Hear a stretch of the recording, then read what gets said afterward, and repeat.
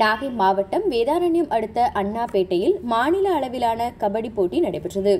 இதில் திருச்சி சிவகங்கை புதுக்கோட்டை தஞ்சாவூர் திருவாரூர் நாகப்பட்டினம் அண்ணாபேட்டை புஷ்பவனம் வேதாரண்யம் உள்ளிட்ட ஊர்களிலிருந்து இருபத்தி ஐந்து அணிகளை சேர்ந்த வீரர்கள் கலந்து கொண்டனர்.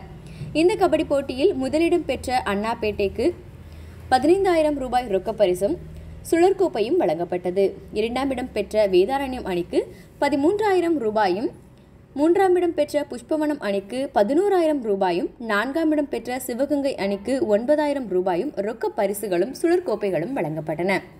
மேலும் கலந்து கொண்ட அணிகளுக்கு ஆறுதல் பரிசுகளும் வழங்கப்பட்டது. இந்த போட்டிகளை திரளானோர் கலந்து கொண்டு கண்டு ரசித்தனர். தினமும் காலையில் உள்ளூர் முதல் உலக செய்திகள் வரை தெரிந்து கொள்ள வாங்கி படியுங்கள். மக்கள் ராஜ்யம் தினமும் உங்களோடு. உடனடி செய்திகளுக்கு டபிள்யூ டபிள்யூ டபிள்யூ டாட் மக்கள் ராஜ்யம் டாட் காம்